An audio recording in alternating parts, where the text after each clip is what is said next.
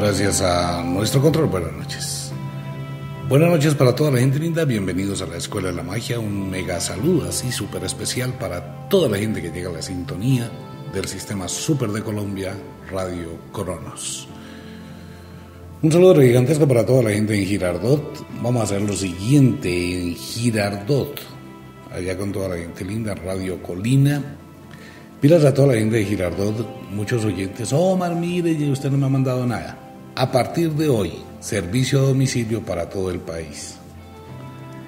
Y a partir de hoy, servicio a domicilio en Suacha. Como se inunda Suacha, bueno, servicio a domicilio en Suacha.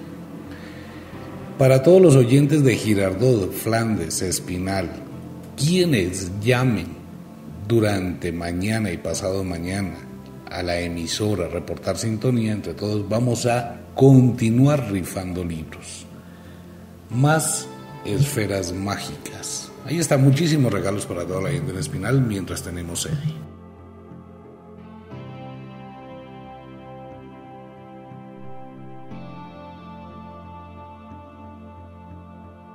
Y muchos oyentes, bueno, ¿y por qué no sé dónde? También, tranquilo, vamos despacio. Saludos a toda la gente en la ciudad de Medellín, saludos a toda la gente en la ciudad de Cali. Saludos para todo el mundo fuera del país. Bienvenidos martes. Entramos a hablar un poquito de misterio frente con los temas que están ocurriendo en el mundo y se ponen a pensar en muchísimas cosas. Hablar de misterios es hablar de lo increíble, que no tiene una explicación lógica, científica, racional. Y uno dice, bueno, algunas personas nos llaman tocando temas de los que hemos vivido en el misterio, de la tradición que es mundial, frente a una serie de eventos. Hay una preocupación muy grande en muchas personas y quieren saberlo y vamos a amplificar el tema. Realmente pero esto lo vamos a hacer esta noche con mucho respeto, no sea que no pueda dormir. Cada vez que toco este tema, algunas personas lo toman en burla y a los cuatro o cinco días están llamando a Wicca, mire lo que me pasó, mire lo que sucedió. Aunque usted no lo crea, esto hay que manejarlo con cierto nivel de respeto. Vamos a entrar esta noche al umbral de la vida más allá de la muerte. Vamos a entrar a un viejo ritual que se practica los lunes por la noche y que mucha gente realiza en sus hogares. Consiste en la invocación de las almas. ¿Puede uno invocar las almas? ¿Puede uno pedirle favores a las almas? Esto tiene dos connotaciones el programa de hoy. Uno, aparece una información de turismo nocturno en Bogotá para mucha gente que quiere ir a visitar el cementerio central por la noche. Mm, bueno, digamos que es un turismo macabro.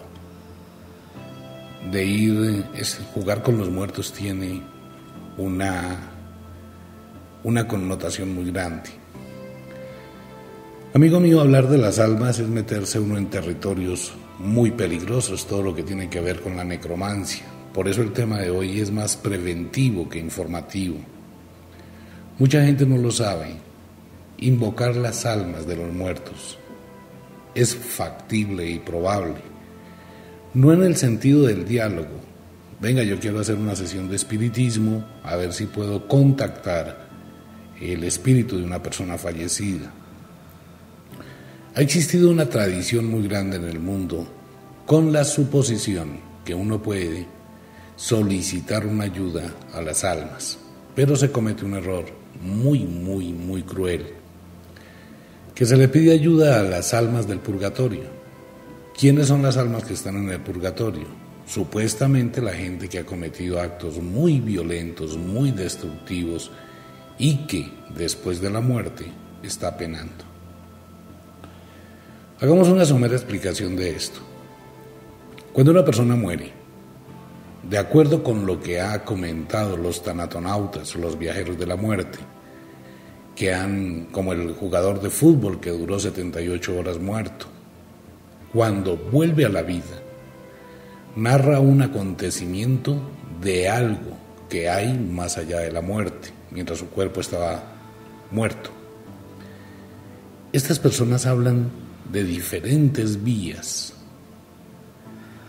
Algunas se quedan atrapadas entre la vida y el más allá.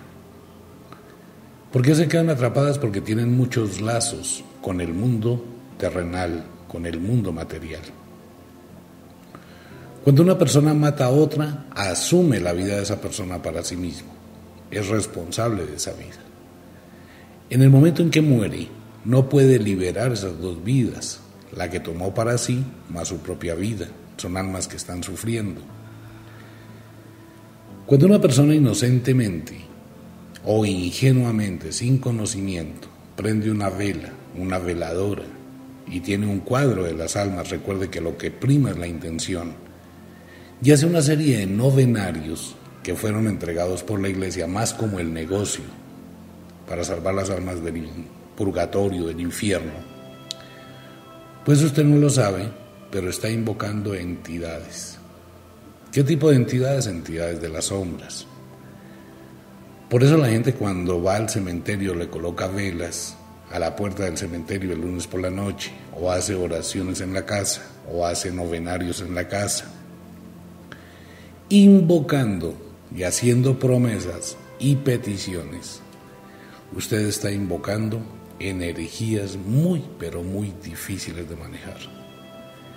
Hagamos un alto aquí, en el mundo del misterio. Necromancia es el arte de realizar operaciones mágicas con el mundo de los muertos. El mundo de los muertos es un mundo muy extraño. Es lo más natural de la vida, pero es el lado oscuro de la vida. La tradición de la vieja religión que dice referente con los muertos. Lo único que un vivo debe hacer por un muerto es dejarlo en paz y olvidarlo. Pero usted no lo hace o mucha gente no lo hace. Cuando comienza uno a dejar que su mente divague a través de una oración, se concentre al encender una vela y comienza a leer el texto, invocación a las benditas almas del purgatorio, eso ya es contradictorio. ¿Por qué? Porque las almas del purgatorio no son benditas son seres que están atrapados en una línea entre la vida y la muerte. ¿Escuchan el llamado? Sí. ¿Pueden ayudarlo a que le resulte algo que usted quiere a una petición? Amigo mío, esa es una parte muy cruel. Lo pueden ayudar, mas no las almas. Otro tipo de entidades que se hacen pasar por las almas. Cuando este tipo de entidades le ayudan, van a cobrar un precio. ¿Cuál? Un alma. Miren, este tema de hoy es preventivo. Uno no puede jugar con aquello que no conoce y suponer ingenuamente que no pasa nada. De esto no se habla solamente hoy, no se habla en el momento en que se escribió la Biblia, no se habla en, en los diferentes libros antiguos como el libro de los muertos, el libro egipcio de los muertos, un libro tenaz, o el famoso libro El Bardo Tul, un libro tibetano de invocación a los muertos, ni se habla de la necromancia del siglo 8, 9, 10. Esto se habla desde los orígenes de la humanidad, las energías de los muertos, no solamente de los seres humanos, la energía de los seres que mueren en la alta brujería oscura de la necromancia, hay unos rituales violentísimos donde se requiere coger un gato negro, matarlo de diferente forma, eso lo hace mucha gente, obtener nueve huesitos de su cabeza para hacer un talismán, un amuleto de necromancia, porque está trabajando con la muerte. Hoy por hoy la ciencia que nos dice, la ciencia nos dice, evite comer cantidades muy altas de carne. ¿Por qué? Porque eso es cadáver. Uno se come un pedazo de carne, pero no sabe realmente que está consumiendo un tipo de energía de la muerte. Todo este tipo de cosas rayan con la necromancia, el mundo de las almas, que hay que manejarlo con mucho respeto. Si una persona no conoce el arte de trabajar con entidades de la oscuridad, pues simplemente va a caer presa de esto. No es muy difícil encontrar personas que han y están sufriendo una serie de situaciones y de alteraciones y de tormentos psicológicos, físicos, psíquicos, por haber hecho una oración a las almas. De hecho, la gran mayoría de personas que hacen este tipo de invocaciones tienen dos problemas. Uno, se quedan con una conexión psíquica con los muertos y dos, imponen un espíritu a la persona con la que quisieran tener algo. Ejemplo. En la noche de ayer, una persona va a la puerta del cementerio, invoca a las almas, les hace una petición que su novio no la abandone. En ese momento está colocándole una entidad al novio. Yo quiero que mi papá me dé un permiso, le está colocando una entidad a su papá. Cuando uno involucra a otra persona, le está colocando una entidad a esa persona, que puede no corresponder con las almas. En México, en la celebración y la adoración de la Santa Muerte, hay una serie de rituales que fueron utilizados por personas ilegales que encontraron en ello una protección para traer la misma muerte. Entonces, ¿qué tenemos? ¿Pueden las almas afectar la vida de los seres humanos? Sí. Pero, como esta es una afectación diferente, ¿cómo funciona? Funciona simplemente porque usted siente presencias de noche en su cuarto, las cosas le empiezan a salir al revés, la situación cambia y puede que usted haya cumplido la promesa que hizo la primera vez. Dice una vieja frase del libro de las sombras de la abuela. Estás en la libertad de invocar el mal para obtener un beneficio. Cuando obtengas el beneficio, nadie te puede asegurar que el mal se quiera ir de ti. ¿Por qué? Porque su esencia es mal, entonces no le va a obedecer. El mundo de los muertos es un mundo muy peligroso. Uno puede decir, mire, mi vida era muy buena, yo tenía una vida estable, chévere, trabajaba, progresaba, prosperaba, me iba muy bien, estaba creciendo. De la noche a la mañana mi vida cambió. Y cuando uno empieza a hablar con las personas que viven ese tipo de experiencias, hombre, es que en mi casa mi mamá, que nos quería tanto, era devota de las almas del purgatorio. Y todas las noches les pedía que nos protegiera. Aunque la intención sea buena, el evento es negativo. No podemos pedir protección de lo que no puede protegernos.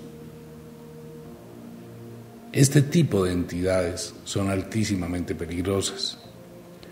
Son miles los casos que hay en el mundo cuando la gente se dedica a hacer cosas del espiritismo, a trabajar con la tabla Ouija, hacer invocaciones, hacer rituales de magia en los cementerios, pues esto va a generar que haya una alteración. Alguien dice, bueno, ¿y si uno se va de turismo a ver las tumbas, como se pretende hacer aquí en Bogotá? No tengo nada en contra de ello, cada persona es libre. Por eso hablamos que este es un programa preventivo. Uno puede ir inocentemente, mire, a dónde está entrando. Usted es un vivo, amigo mío. Qué pena, los cementerios no son sitio turístico. Los cementerios es un lugar de respeto. No, pero es que yo quiero ir a ver las tumbas del año 1810, ir a hacer secretos a la tumba que hay allá en la 26. Muchísima gente que osa, osa en el sentido de osar, de valentía, ingresar a los dominios de la muerte, la muerte no tiene sentimientos. Puede que se haga con la buena intención de hacer una visita macabra, ir a visitar a los muertos de, por la noche. Es más, los muertos no se deben visitar. Lo muerto debe dejarse muerto. Mire, omítar, es que yo tengo restos en mi casa. Su casa no es un cementerio. Todo lo que sean restos humanos, restos de animales.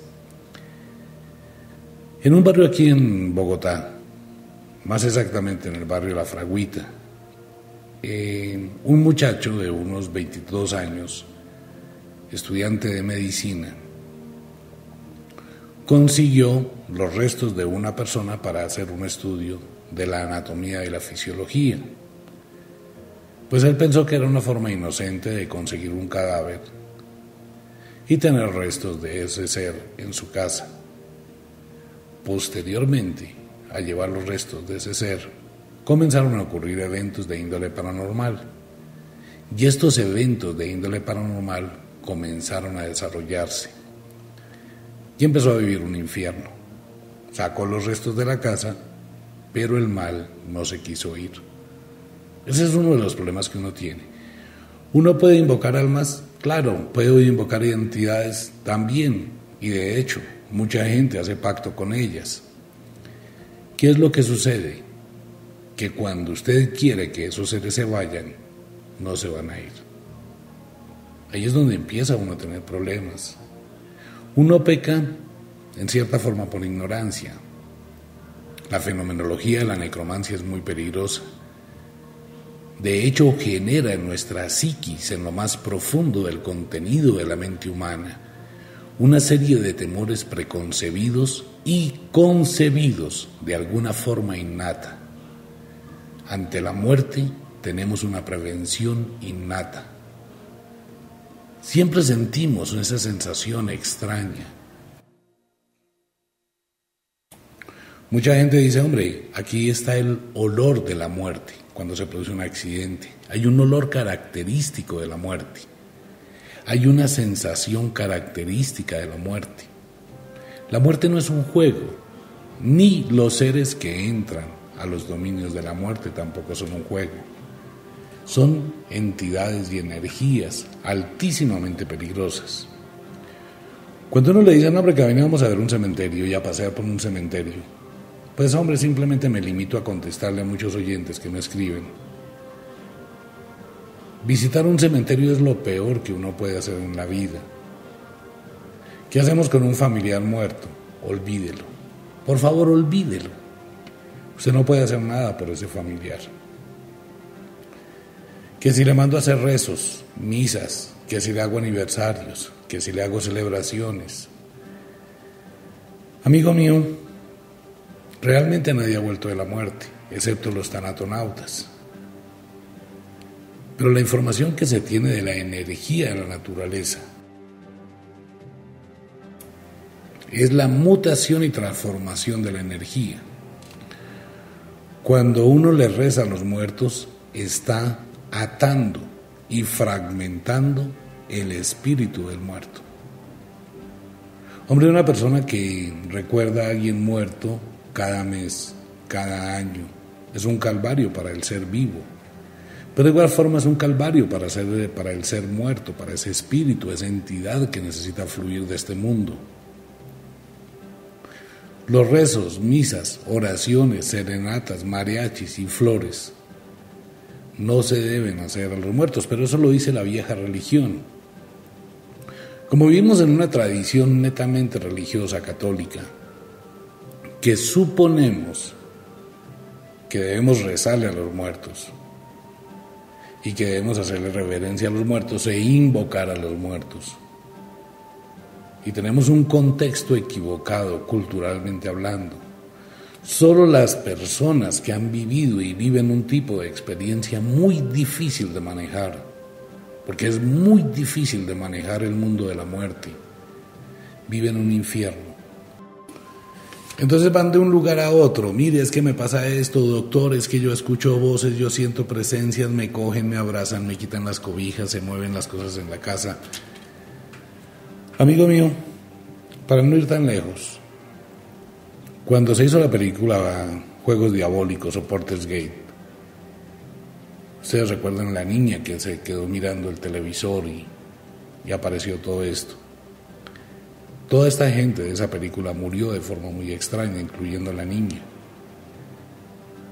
Uno no puede, no debe, excepto que conozca de magia. Cuando uno quiere hacer una invocación de necromancia y quiere trabajar con los muertos, lo primero que tiene que hacer son tres anillos o círculos de protección alrededor de la persona.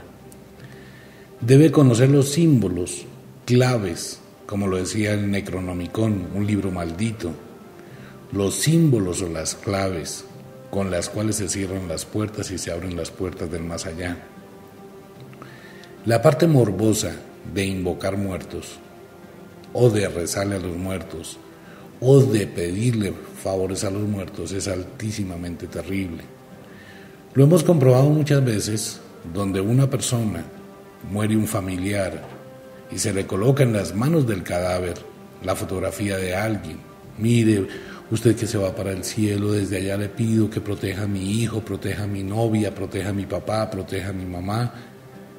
Y le colocan en la mano en una camándula, le colocan un Cristo, le colocan la fotografía de alguien, le colocan una carta, cabellos, etc. Fuera que el muerto ya está muerto, le piden más cosas. El espíritu, cuando abandona este plano material, no le importa la familia. Pero ¿qué ocurre? Que quedó un puente psíquico entre la fotografía o el elemento en las manos del cadáver y la persona propietaria. Se llama transferencia de energía. En la medida en que el cadáver se descompone, por eso es mejor cremarlo, en la medida que el cadáver se descompone, que puede ser de 4 a 7 años. ¿Qué ocurre? Que hay una transferencia de la energía de la descomposición del cadáver, de la muerte, a través de la fotografía a esa persona. Y esa persona empieza a recibir que durante unos años su vida es tenaz, transferencia de energía. Cuando hacemos sugerencias en la radio, simplemente sugerencias, uno dice, mire hombre, si usted es la mamá que cogió los cachumbos de su hijo, eso es un mal hábito. El cabello tiene todo el poder, por eso se hace brujería con el cabello. Ay, tan lindo el cachumbo de mi hijito, lo cogió, lo enredó, lo amarró y ¡pum! Lo pegó en el antiguo álbum de fotografías. En el álbum de fotografías. ¿Cómo es la vida de esa persona? atada, amarrada, siempre difícil. Cuando hacemos la sugerencia, hombre, quita esos cabellos de ahí, siémbrelos en la raíz de un árbol frondoso, mucha gente, no me gustan los testimonios. Las personas comentan, hombre, a partir de ese momento, al cabo de unos cuatro días, pues como que la persona empezó a ver otra vida. Igual cuando le pedimos el favor a los oyentes, hombre, destape el sifón del baño, destape el lavamanos, quite toda esa maraña de cabellos y se da cuenta que la vida vuelve a fluir. Se llama la ley de la atracción de lo semejante. Invocar a las almas es muy peligroso. Ellas pueden complacer y entonces si le complacen una cosa usted va a pedir otra. Cuando usted pida otra, ellos lo complacen y luego empiezan a cobrar, a pasarle la factura. Hay personas que ofrendan el primogénito de alguien a las almas. Eso es de mucho cuidado.